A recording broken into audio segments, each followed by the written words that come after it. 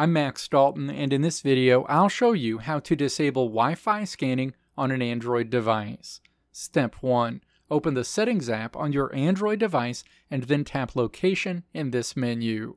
Step 2. Scroll down this menu and then tap Location Services. Step 3.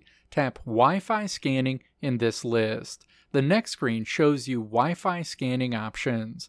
Step 4. Tap to toggle off Wi-Fi scanning.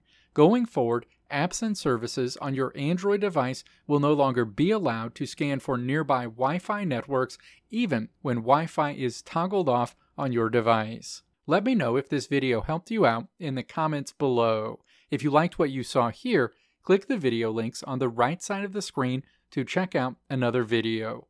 Or click the logo on the left side of the screen to check out my tutorial website at www.maxdalton.how.